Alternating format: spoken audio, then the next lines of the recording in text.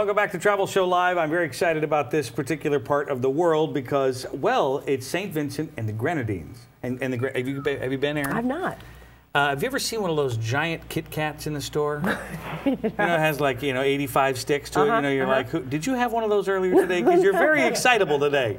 I don't know why, but Aaron is very excited. It's a good show. I, am excited to have you here. Yeah, right? you're, always so bubbly. Good energy. You know? But I know you and I were talking about this. Mm -hmm. uh, the name, by the way, you need to go to this website, and I don't want to mess it up. It's uh, HarlequinHotelsAndResorts.com. Mm -hmm. All right, go there and follow along. Uh, Dave Ames is here. He's the CEO. Excellent. For heaven's sake, the boss is He's on the, the, phone. Guy. All right, we gotta, all right, everybody class it up a little bit, okay? together. How are you, sir? Welcome to the program. Hi, Dave will be fine. I, am quite happy with Dave, no problem. That's okay. Nice to speak to you. nice to say, nice to have you here. Now, uh, this new property you guys built down there. This is uh, when does it open? Uh, we actually opened uh, on the 1st of July 2010, okay. so we're about sort of eight months away now. Okay, and we're kind of in the final final thrust, right? Yeah, the actual accommodations have all been built, so we're just finishing off the marina, and we've got a number of restaurants on the beach and the beach bar around that area. So just finishing off tidying up and landscaping, things like that at the moment. Mm-hmm. And now the question I have, of course, is that you know, look. Uh, there's no big secret that the U.S. is having a, a, little bit of a financial you know, instability in terms of yeah. where we're going to be going with tourism in the future, and it, it's a little hard right now. You guys obviously can't just you know stop construction, but you could have if you wanted to. Yeah. When was it decided, and, and why was it decided you were going to continue on with this project? I think it's a number of reasons. Even though, I mean, the UK and Europe are suffering the same sort of problems you're having here in the States. Mm-hmm. But to be honest with you, what I found and what I'm a great believer in, and, and we're proving that, because the fact is that when times are hard, people still do have money to spend, mm-hmm. and what happens is is they then take a little bit more time and effort to decide where they're going to go and where they're going to go on holiday and where they want to stay, the sort of things they want to uh, receive when they get on holiday. Mm-hmm. And I think our success is the fact that what as people have, uh, have realised that you know, most people are fed up of just going to a, a, hotel, getting up in the morning, sit on the beach, go and have the same uh, meal in the same Russian restaurant each night, mm-hmm. go to bed and do the same thing the next day. Mm-hmm. And what we've found by putting together what we've put together, uh, people actually love uh, the excitement of what we're putting together, and it's drawing people's attention to what we're doing. And because we're giving a choice and a service and standard that's not available in the Caribbean. Well, I was, I was going to ask you about that because I mean, I, I, it sounds a little you know corny if I say you're kind of re, redefining five star luxury. Yeah. What does that mean exactly? I'll be honest with you. My, my personal opinion. I've travelled the world in hotels and holidays all over the world, um, and one of the downsides, to be honest with you, in the Caribbean, mm-hmm. is the fact that when I go on holiday to Dubai or the or the Far East, you know, you go, you stay in a five-star hotel there, and then you come to the Caribbean. What they call a five-star, in my view, is more like a two or three-star. Mm-hmm. The service is not good, the facilities aren't very good, the quality of the room they're not very good, and that's for a number of reasons. So what we've believed to do and what we're aiming to do is build a five-star service and standard that you you see more like in the the Middle East or the Far East. And, and you know what? And it comes down to a price point too. Here, I mean, mm-hmm. I'm fine with a, a five star. You know, look, you get what you pay for. Mm-hmm. At the same time, it doesn't have to be so uh, exorbitant that it's cost prohibitive. Right. It can still, it, it, as long as you're still getting value. Mm. There's nothing wrong with having a, a, higher rate as long as it's not, you know, through That's the roof. exactly right. It's what we are saying just now about the economic climates today.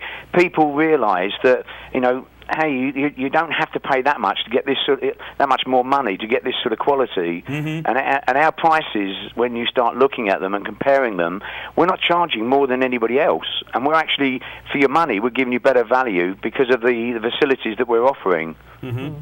And now, uh, that being said, how many rooms are we talking about down here? Uh, what we're looking at is 369 rooms. Okay. And one of the differences we've, we've put together down here, another issue that I've always had, as being a family man, is when you take away three or four children like I have, what happens is you're putting in a big room, basically sharing a couple of beds in one big room. Right. Well, we're building up to four bedroom villas which are part of the hotel. So if you're going away with a couple of friends or you're going to uh, go with your four children, hey, you can all have a bedroom each. Mm. Or know, your so entourage. Oh yes, that's I mean, I a little bit like I've got. Um, go, you know, yeah. I mean, I know you got 12 restaurants down there, but I'm going to need my my driver has to go. The expert of course. My two. Bring the whole crowd. Why, yeah, you might as well. Yeah. You know, that's a very interesting. Uh, it's a very interesting thought, though, that it, you know you don't have to just be stuffed into a. That's exactly a right. One big room with the pull-out couch, and although yeah. it's fun, but you know, really. We don't do pull-out couches, you see, because if like, I've got seven grandchildren, when I take my grandchildren away with us and my, with my children, oh my hey, we, we can all have a bedroom each.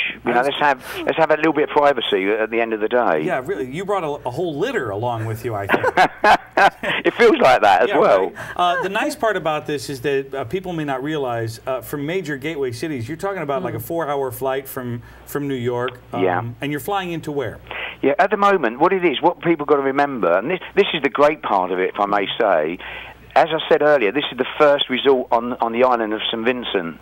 And the key to that is the fact, although it has an international airport, it only takes small planes. Mm-hmm. So what we're having to do is that at the moment, what we're doing, you fly into St Lucia, mm-hmm. and the great thing about St Lucia, it's, it's only about 20 miles from St Vincent. So what we're doing, we're giving people a choice. We've either taken a small pl- hop over plane 20 minutes onto the island of St Vincent, okay. or we've got a luxury boat that will take them within an hour from the airport direct right onto our beach, right into our resort. I think that's a great idea. Mm-hmm. And I, the great I, thing about that, it gives people, as soon as you get off the the plane, you're actually on holiday. We're going to have rum punches on the plane. There'll be reggae playing on the boat being played, and people feel they're already on holiday as soon as they get off the plane. Yeah.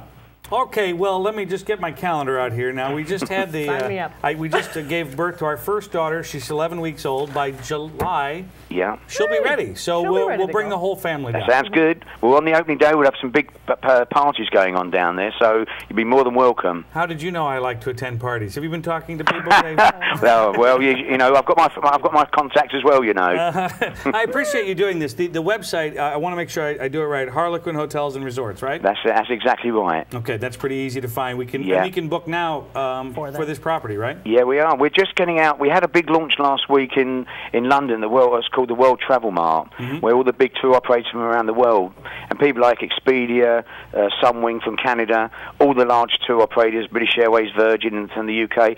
Everyone loves the concept we're putting together. They see the difference in it. Yeah. The great thing is, as as we build up and as we get closer to opening, nearly every tour operator majorly throughout the world will be offering our resort. Oh, I love it. oh, I love it. I love it. Dave, thanks for doing this. You know, you have a standing invitation to come back anytime you wish. Would That's you very kind of you. I look forward to it. All right, very good. Thank you, sir. Thank you very much. Pretty Thank you. easy to remember. All right, we'll be back here in just a couple of minutes. That sounds like a great property. Really? That's going to be fun. We got to go hang out down there. Sign it up. We'll be back.